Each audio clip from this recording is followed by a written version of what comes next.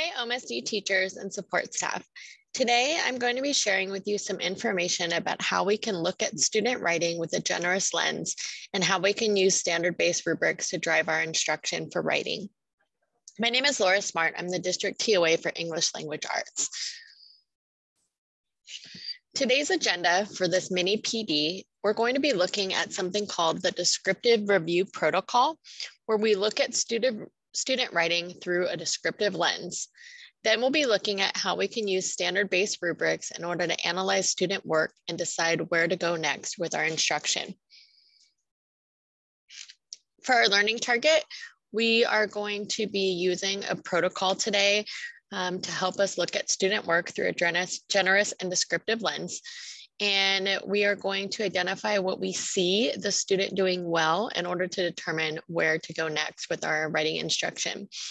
We'll know we're successful after reviewing today's PD when we're able to apply this descriptive review protocol to our own student samples in order to determine standard-based next steps for their writing. So I'm going to introduce you to a protocol called descriptive review, and it is a protocol that you can use when looking at your own student writing samples. This is also something that you can do in a PLC with your grade level team in order to look at some of your student writing samples in order to talk about where to go next with your instruction. So when we talk about being descriptive when looking at student work, we're going to be talking about looking at exactly what you see the student doing in their work. And participants, um, if you're doing this with a grade level team, everyone in the team should agree that that's what is in the work. So we're going to be very descriptive in what we see. And I'm going to show you an example in just a moment on that. So when we talk about descriptive language um, when looking at student writing, we are going to talk about what we see happening.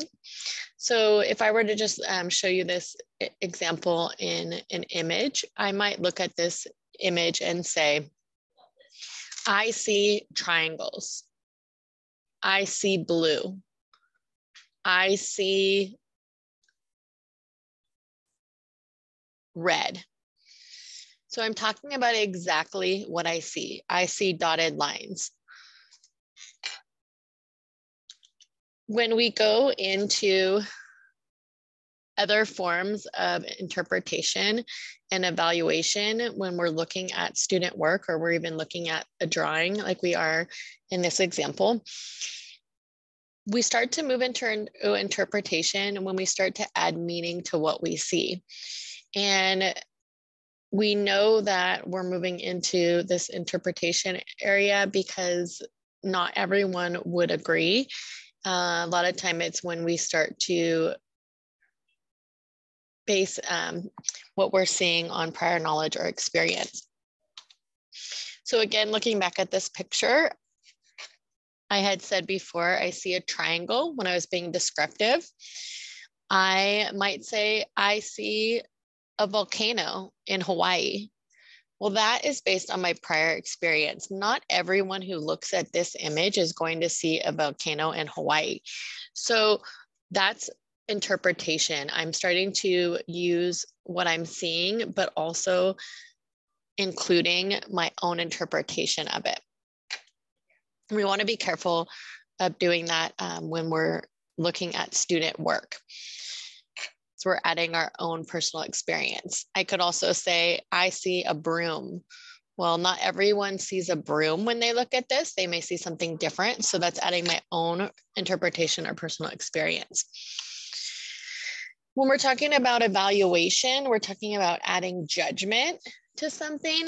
And we want to, again, be careful when we're looking at student work to not apply our own judgments or evaluation because our goal today is to look at what the students are doing well and build off of that in our instruction. It's not at the evaluation time yet, because uh, this is looking at pre-assessments um, moving into a genre writing unit. So if I were to be um, using evaluation, I might say something like, wow, the person who drew this must have had art lessons. So I'm adding my own judgment or evaluation to it. Now let's talk about this in terms of student writing. So if I was looking at a writing sample and I was using description, I might say, I see periods. If I were to move into the two other areas, let's say I were to move into interpretation and start to uh, base it on my own prior knowledge and experience, I might say, this student understands the use of punctuation. So I don't know for sure if the student understands punctuation just because I see periods. So I need to be careful um, making these assumptions. If I were to move into evaluation, I could say something like, this student probably struggles with reading. So maybe the student has, um, you know, a lot of misspellings or periods um, in the wrong places. And then I start to add judgment. I assume that this student probably struggles with reading or writing. And again, I should be only looking at what the student produced and not making my own judgment or evaluation at this time. So this protocol uh, called descriptive review is where we're going to really emphasize the need to look at student work descriptively without moving into the interpretation or the evaluation phase. So remember that description is going to be grounded on descript describing what we see, not on judgment or evaluation. The process uh, can be formal if you're doing it in a PLC. You can take turns speaking and everyone is sharing what they see. I'm going to walk you through it through a student example now. This is one of my old students writing samples from the beginning of our informational unit. So I wanted to see what do students already know how to do with informational text. So I asked each student to write about a topic of their choice and provide me some information. When we're looking at student work, if you're doing this on your own, or if you're doing it with a colleague or your grade level team, it's always a good idea to ask someone who doesn't know who the student is to read the work out loud when possible, because that teacher doesn't know the student and wouldn't e apply any type of judgment to the reading. It's a good idea also when we read this to, instead of reading it emphasizing on the errors, we should try to read it giving the student the benefit of the doubt of how we think that student would want the work to sound. So I'm going to go ahead and read this. Motorcycles and cars, illustrated by Murray. Motorcycles are cool. Motorcycles are fast. Cars are so, so tight. So you'll notice when I read that, I read it how I think the student would have wanted it to be read. And I ignored some of the mistakes in order to focus really on the student's ideas and look at it in a positive lens. So when we're looking at using the descriptive review protocol, we are gonna go through three different rounds and you can take notes on each of the rounds if this is a student from your class as uh, the teachers are looking at the writing or as you're looking at the writing. So the first step, we're going to really focus on just what do we see the student doing.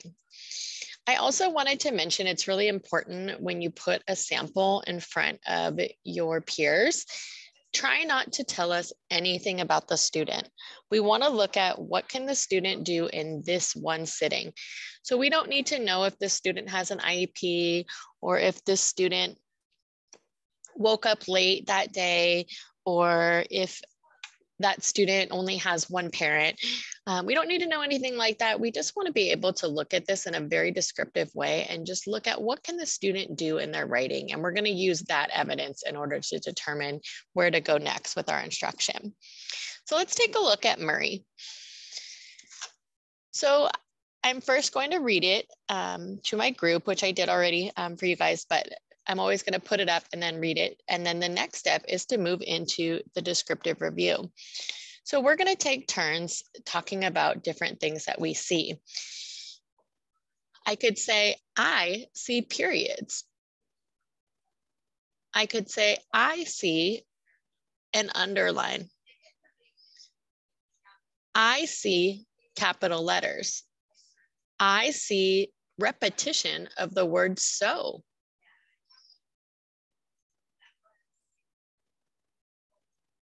So that would be an example of how I might talk about what I see.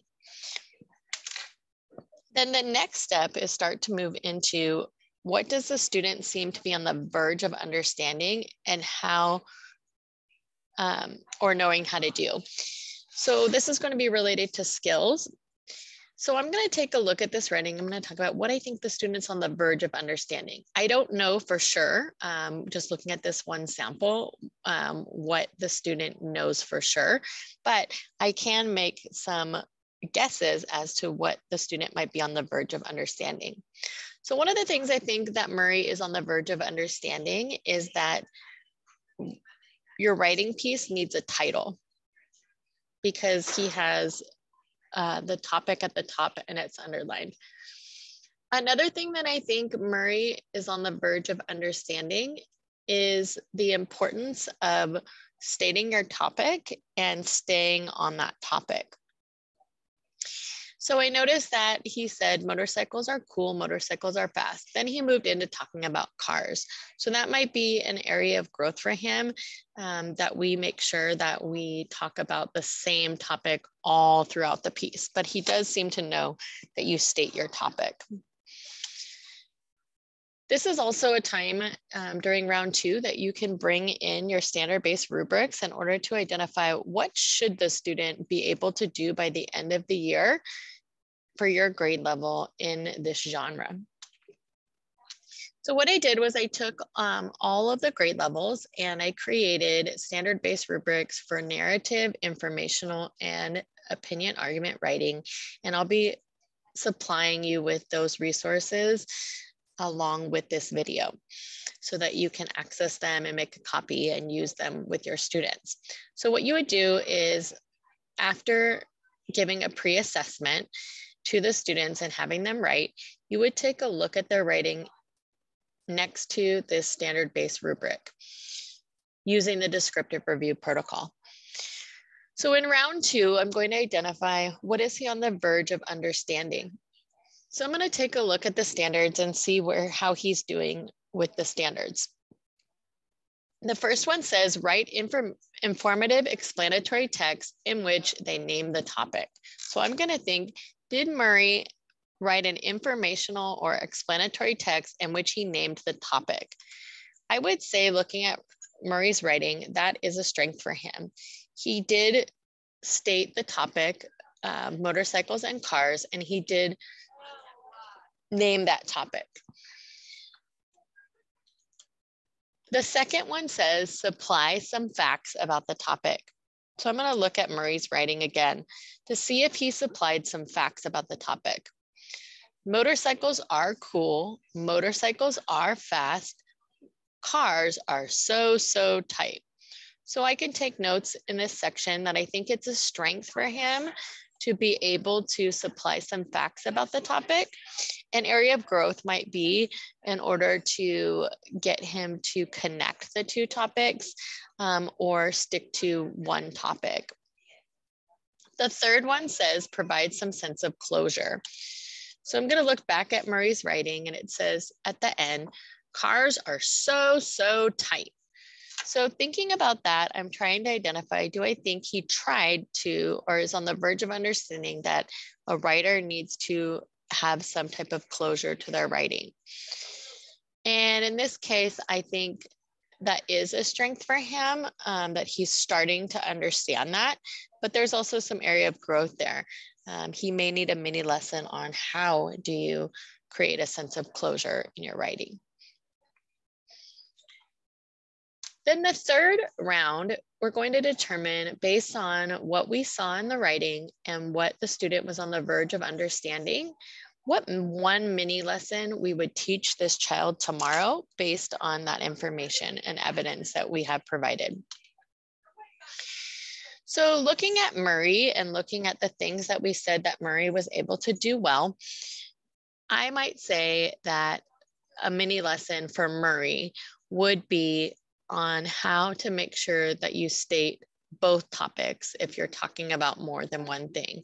Maybe I want to show him that good writers always start with and name both of the topics they're talking about instead of um, bouncing around.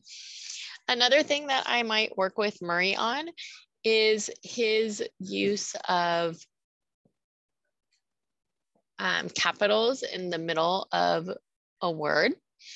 So I can talk to him about how capitals only go at the beginning when it's naming the topic or when it's the first letter. So I want to determine where my next steps would be based on the evidence that's provided in this writing sample. Now I want to show you my next step, which would be to teach the writing unit. So let's pretend like Murray wrote that first page as his pre-assessment and then I determined the things that I wanted to do my mini lessons on in order to help him grow as a writer. Now I'm going to show you what he was able to produce just two months, uh, just six weeks later, uh, about a month and a half later in informational text for his post assessment. So this is after he's received some instruction in some of those areas that we talked about. So I'm gonna go ahead and read Murray's writing. And again, I'm not going to front load any information about the student. Things that go fast. Party trucks have TVs. They are so cool. I just want to go. Cars go fast and I like it so bad. I like fast cars. Motorcycles go fast like Dash. Trucks go faster than a little dog. Trucks have engines. That's why they go so fast. Well, that's why they are fast. Motorcycles go fast like Dash. Cars are almost faster than motorcycles and race cars, but I know that cheetahs are fast, but they get tired and cars run out of gas. I saw a tight car on Pimp My Ride and they was cool. So as I'm reading this, I'm noticing a lot that we had focused on in our instruction during my mini lessons for this unit. One of the things I worked with the students on was comparisons. So you'll see the use of comparisons. I also worked with Murray on naming his topic and trying to stay on topic. So just taking a look at this, you can see evidence of his learning from the first sample to the second sample. And that's what we're looking for. We're looking for growth.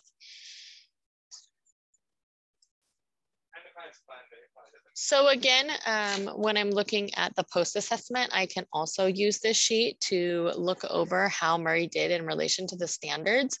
And I can determine where I would go next with my instruction when I move back into informational later in the year.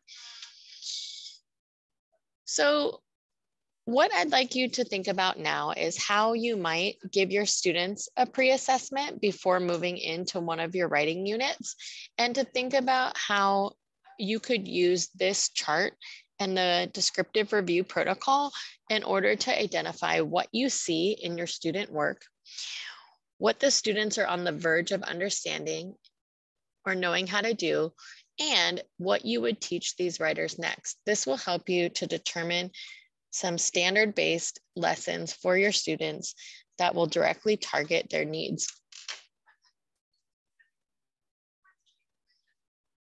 So in this PD, I am going to be providing you with all of the standard based rubrics and the resources for the descriptive review protocol. Um, you can just write it in your notebook with the three columns in order to keep track and then record also on the rubrics um, in order to identify what the student strengths are and areas for growth. I hope you enjoyed this video and you are welcome to reach out to me at any time if you ever have any questions or just want some feedback on your student writing or your planning. My email address is laura.smart at omsd.net. Thank you so much. I hope you enjoyed the video. Thanks for watching this episode of the Curriculum Cafe. Click like and subscribe to join the cafe for more classroom tips from the TOA team.